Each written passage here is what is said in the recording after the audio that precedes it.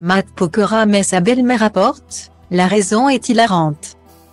Samedi 28 janvier, sur Instagram, Christina Milian a partagé une vidéo de Matt Pokora.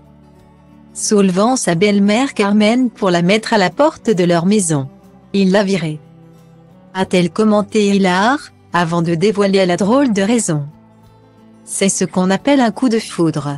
Christina Milian et Matt Pokora se sont aimés au premier regard.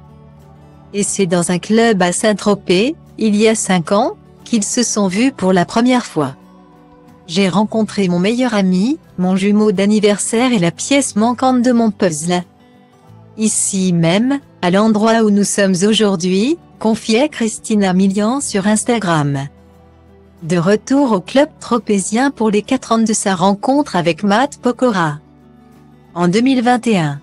Et d'ajouter, lorsque nous nous sommes rencontrés, j'ai été littéralement époustouflée à la seconde où j'ai posé les yeux sur lui et je ne savais pas du tout si j'étais son type, j'ai regretté ne pas m'être plus apprêtée pour cette soirée.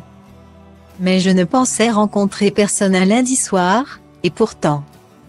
Depuis, Christina Milian et Matt Pokora forment une jolie famille recomposée. Le chanteur est en effet devenu le beau-père de Violet. Fille de la chanteuse née d'une précédente relation et ils ont eu deux enfants ensemble.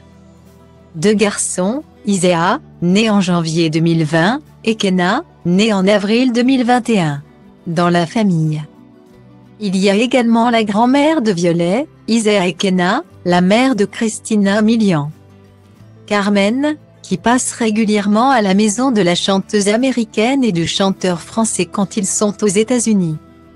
Mais, Samedi 28 janvier, elle s'est fait virer par son beau-fils. Dans une vidéo publiée dans la story Instagram de Christina Milian. On voit en effet Matt Pokora soulever sa belle-mère pour la mettre à la porte. Matt a soulevé Carmen et l'a virée parce qu'elle portait une veste des Knicks dans la maison. C'est amusé la chanteuse Hilar. Les Knicks de New York n'est visiblement pas l'équipe de basket préférée de Matt Pokora.